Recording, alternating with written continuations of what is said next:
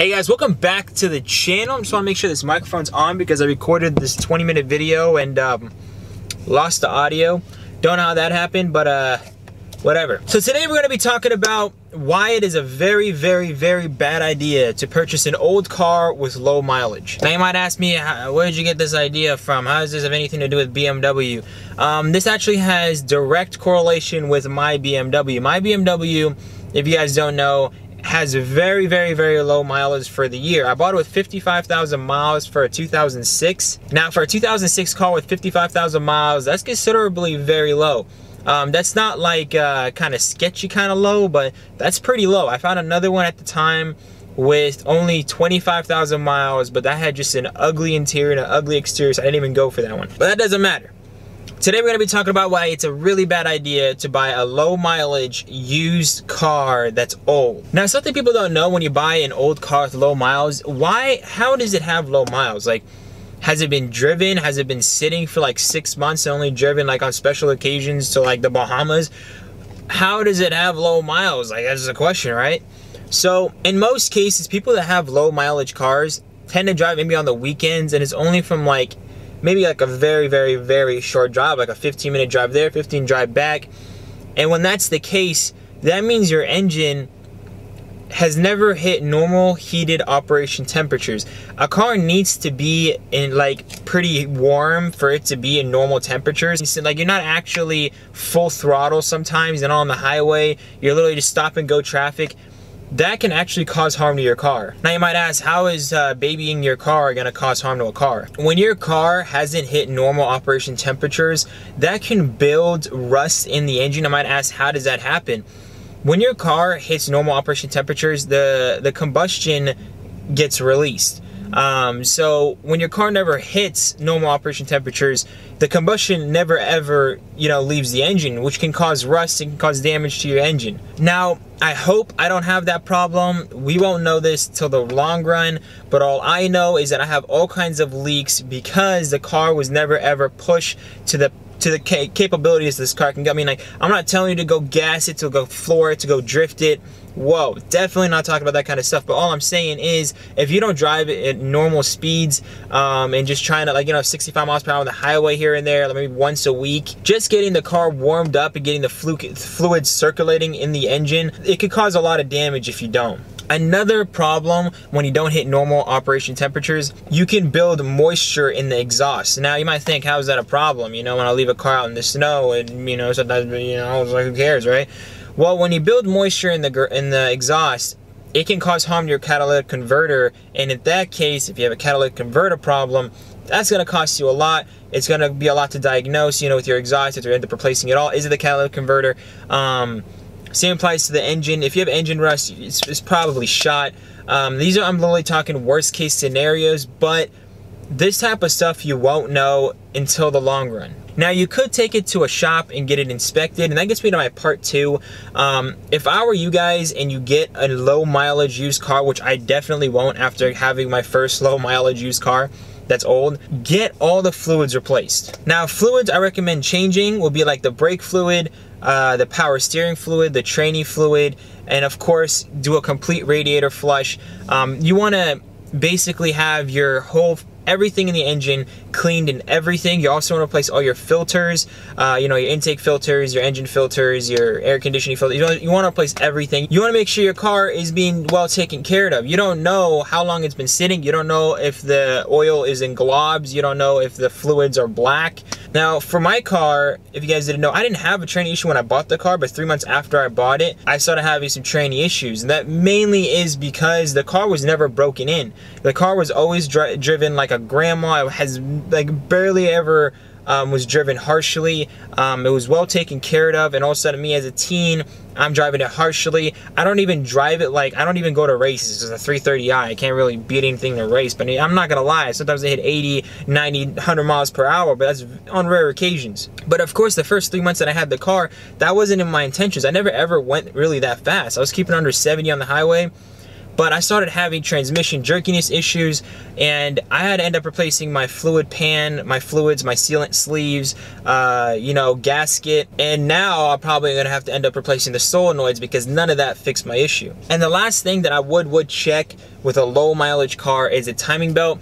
Now, if you don't know how to check if it's rusted or cracked or brittle, um, make sure you get that thing diagnosed. Make sure you get your whole car diagnosed. Low mileage cars can be a money pit. Now, you might be asking, like, how, man, you know, everything is new. Over time, every single part in the engine bay becomes brittle. Um, it doesn't matter how old the car is. It doesn't matter how many miles is on the car.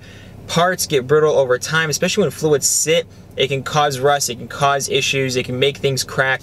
Um, if your car only has 20,000 miles and it's a 2002, you can still have the exact same, you know, water pump issues, uh, hose issues, leak issues as a car with 130,000 miles 2002. So I'm basically trying to say here is that honestly, you're better off going with a newer car or you're better off going with an older car with higher mileage. If you're looking for low miles because you want to, you like, you know, you don't like to see a car with higher mileage, I would go the medium range between 2009 to 2012. 2009 and 2012 is a good range for low mile cars.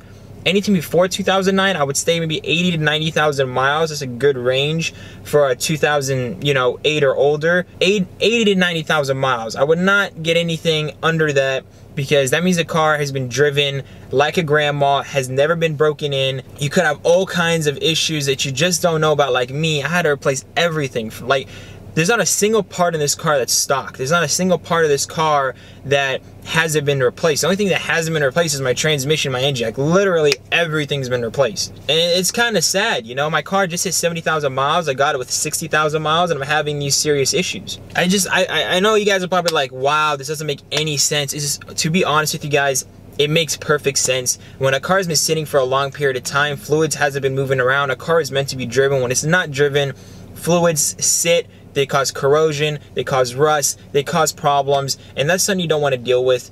That's what I found out about my car after owning it for all this time. I finally hit 70,000 miles. Thankfully, it's running strong. Um, people always ask me, what is a good mileage for a car? Now, if you, I'm gonna straight up answer this for my BMW followers. Um, if you're looking for a BMW E92, E90 from the year 2006 to 2009, like, I mean, to be honest, 80 to 90,000 miles is a pretty good amount of miles for an older car. Uh, you know, from anything before 2008. Now, if you're like 2009 to 2013, 2012, that is like the medium range. It's fine with low miles vehicles. Um, those cars actually tend to be more reliable. Now, of course, if you got the money, newer cars, low mileage is perfect. It is now 2018, so 2008 has been over 10 years old, okay? So for a 10 year old car with 20,000 miles, that's a big issue because for every year, a car is normally driven around 12 to 15,000 miles. And if your car hasn't been driven at least 8,000 miles for every year, is a good amount of miles per year. I mean, if a car's been driven around 8,000 miles a year, that means it's been on the highway, it's been on the roads, it's it's been through everything. It's it's been broken into. It's a solid car. For anything after anything before 2008, you know, 8,000 miles a year is a solid car. So if you consider it 8 times 10, 10 years, so for a 2008 car, 80,000 miles is probably your best bet. Of course, around 100,000, 120,000, um, it's it, your car, I mean, it, it's starting to get a little bit older. The engine's starting to get a little bit weaker, but it doesn't mean it won't run solid. It'll probably run more solid than a car with super low miles. And a prime example of this is how my brother has 130,000 miles on his BMW. Uh, 130,000 miles, I was never ever looking in that range. But after driving this car and seeing how the tranny is very, very, very smooth to shift, car runs perfectly, no issues, fingers crossed, you haven't hit the highway yet, but everything seems to be pretty solid. Um, and we got it for a really good deal, you know, like this car, I paid almost an arm and a leg for it, and that's mainly because I didn't want to have any issues as a college student with this car.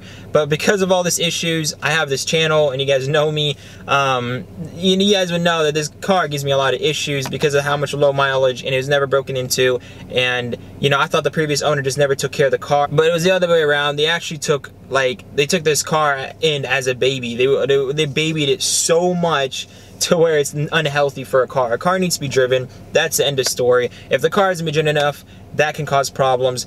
And I'll have some links to two articles down below uh, just to show you guys, you know, I'm not making this up. I just, I have personal experience with my car with all these issues. If you guys follow me on the channel and look at my other videos, you understand what I've been, you know, going through with my car. These articles below are just to support my claims and what I'm saying. So if you guys want to check that out down below and get more information, again, it'll be down below. So before I end this video, I just want you guys to send me some prayers. By the time I upload this video, I'm gonna be having my surgery on my leg. Um, long story short, I broke my leg a couple years back, have some metal in my leg, and I'm getting my leg, I'm getting the surgery done. I'm gonna be put under. I'm not a big fan of being put under. Um, I hear a lot of stories of people being put under and they just don't wake up after the surgery. You know, you never know when is your last breath. You gotta always, um, thank God for your blessings. So, you know, thank you guys for always supporting me, supporting my channel pray for me. I'm going to make this through and make you guys another video. Hopefully, you know, most likely I'll make it out, but just pray for me, guys. And I'll see you guys in the next one. And if you guys did enjoy this video, make sure you smash that like button for me. See you guys in the next one. Peace out.